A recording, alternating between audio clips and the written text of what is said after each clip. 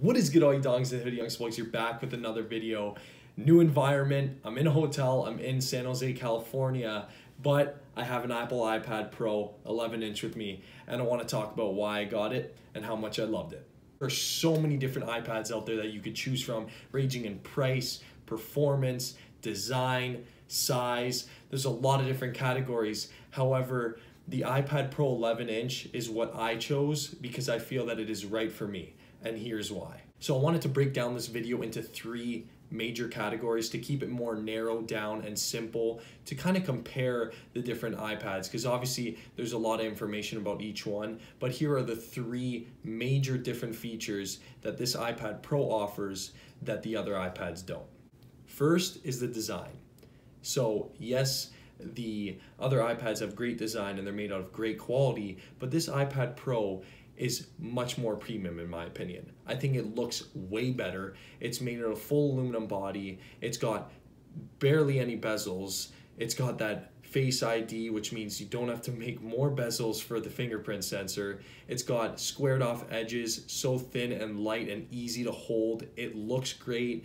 I'm a huge person in looks. You know, I love to have a device that looks really good along with performance and that space gray color on this new iPad is unreal. I love it. They have it on the Max and now it's on this iPad. It's great. Second thing, and a very important one for me specifically as a YouTuber is performance. And I know once again, yes, the other iPads are great performers as well. They're very optimized for the iOS software and perform great. However, I know that this iPad Pro will never give in on me. I know that it can edit video, edit pictures, watch YouTube, play games, play music all at the same time, and it won't lag one bit. Because this thing is actually just as powerful, if not more powerful, than some computers out there according to benchmark scores and that's really impressive and I needed to make sure that this thing would not lag. So the iPad Pro is significantly better performance than any other iPad out there and as a YouTube creator like myself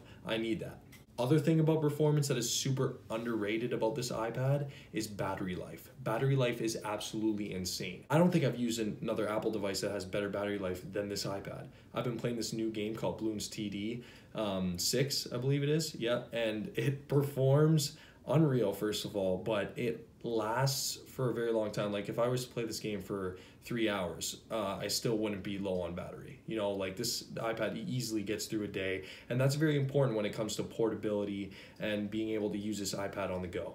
The last thing, the third thing that definitely isn't the least, but actually the most important influencer in me getting this iPad, and that's the display.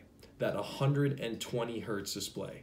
It's not even the resolution that's really great about this display because all displays nowadays in the day and age that we're in have great resolutions. It's that 120 hertz that just make using this iPad so enjoyable, so precise. Scrolling through web pages, editing photos, using that Apple Pencil is all just so precise being able to you know enjoy what you're doing on the ipad and uh, honestly something as simple as scrolling through web pages have been unbelievably fun to use. And yeah, I am a tech guy, so I do notice these kind of things, but I guarantee you, even if you are not a tech person, you will notice the difference between this 120 hertz display and a 60 hertz display in the other iPads.